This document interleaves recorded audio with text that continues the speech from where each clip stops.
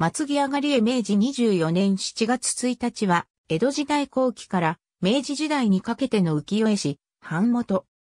四代目、大黒屋平吉。小林清親の門人かと言われる。姓は松木、通称は平吉。上がりへとゴース。両国吉川町二番地に住んでいた。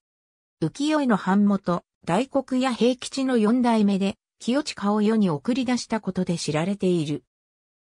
版元としては、小寿堂とも合し、略して太平とも言われており、明治7年から明治15年まで、東京地本堀が営業組合の組合長を務め、明治9年1月13日に清近のデビュー作となる、西京大判3枚、続く、東京後大橋の一両国新京、東京江戸橋の新京から始まって、明治12年頃まで清近の東京名所へを20点近く観光したほか、明治10年には、洋州地下信の大判3枚、続く、聖観論の図などを売り出したほか、歌川国明、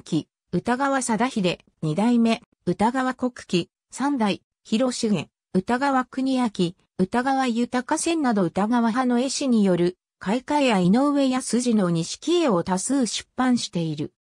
また、明治10年に清近の猫に提灯を反抗して以降、明治13年まで合計9点の生物が、花鳥動物画を刊行した。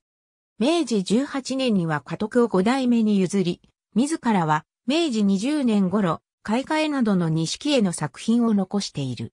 去年56。墓所は江東区白川のお松院。ありがとうございます。